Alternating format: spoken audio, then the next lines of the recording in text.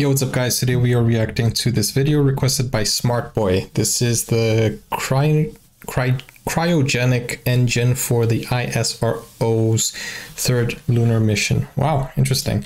Let's watch this video. Don't forget to like and subscribe and join us on Discord if you want to send your suggestions.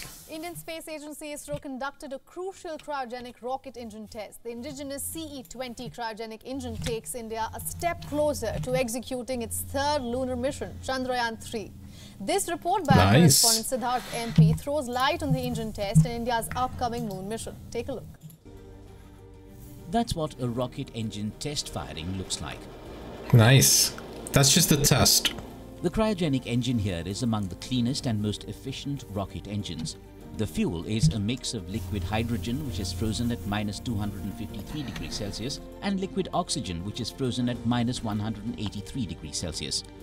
The only residue from burning this fuel is water vapor. This particular Wow. cryogenic engine, known as CE-20, is designed and developed by the Indian Space Research No pollution, I guess. This same engine will eject India's third lunar mission Chandrayaan-3 into space. The CE-20 is India's most powerful cryogenic engine and it sits atop the LVM-3 rocket. Bro, The India is so LVM-3 advanced. a three-stage rocket weighing close to 650 tons at liftoff. The The ISRO is so advanced, man. I saw another video also about that. This is incredible. The the things that are coming in the future, I'm telling you, it's incredible. cryogenic third stage of the rocket will carry the satellite into its final orbit. While announcing the test outcome, ISRO said the engine firing was carried out for the planned duration of 25 seconds and that all parameters were satisfactory. Nice. That's good. That's good news. Chandrayaan 3 will be India's third lunar mission and India's second lunar landing attempt. So far, India has only been able to have spacecrafts orbit the moon. The Indian Space Research Organisation has attempted two lunar missions to date Chandrayaan 1 in 2008 and Chandrayaan 2 in 2019. Chandrayaan 1 was also credited with affirming the presence of water molecules on the moon. Nice. In 2019, India's Chandrayaan 2 encountered trouble while attempting a controlled lunar landing and the mission was lost. Oh, that's sad. Chandrayaan 3 will be an attempt to both land on the moon and for an Indian rover to traverse on lunar surface.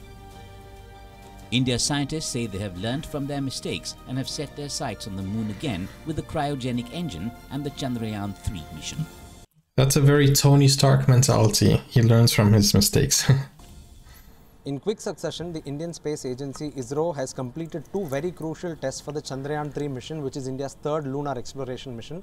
The first test is an electromagnetic interference test to ensure that the spacecraft can survive the harsh environment and the harsh electromagnetic radiation of outer space.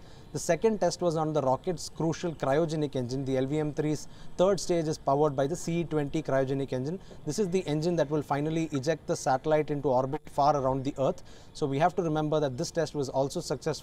And as far as ISRO's nice. goes, the spacecraft for Chandrayaan 3 is in its final stage of testing. And as far as the rocket goes, the integration can begin very soon because the engine is finally tested. We can safely assume the fact that ISRO could attempt this mission well before 2023 and Chandrayaan 3 could be done before the end of 2023. From Chennai, Siddharth MP, Beyond World is One. Guys, can you imagine if India finds um, material, minerals, um, fuel, fossils, uh, you know, something that could change the history of, you know, our our world? That would be insane.